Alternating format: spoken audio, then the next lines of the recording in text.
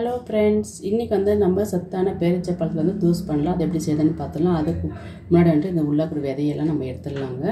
பேரிச்சப்பழம் வந்துட்டு பாருங்கள் உள்ளக்கிற விதை எல்லாமே எடுத்துகிட்டு நான் ஒரு டைம் வாஷ் பண்ணி நான் எடுத்து வச்சுருக்கேங்க. இப்போ இந்த பேரிச்சப்பழம் வந்து மிக்ஸி ஜாருக்கு சேர்த்திக்கலாம். பேரிச்சப்பழம் சேர்த்தாச்சுங்க. இப்போ வாழைப்பழம் ஒன்றுங்க சேர்த்திக்கலாம்.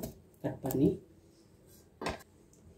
பால் வந்து நான் ஃப்ரிட்ஜில் நல்லா சில்லுன்னு எடுத்து சேர்த்திக்கிறேங்க. நம்ம இப்போ நைஸாக அரைச்சி எடுத்துடலாங்க. நைஸாக பாருங்கள் அரைச்சாச்சு.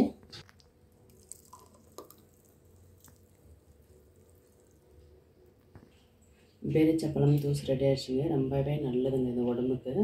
எலும்புகளுக்கு உடம்புக்கெல்லாம்.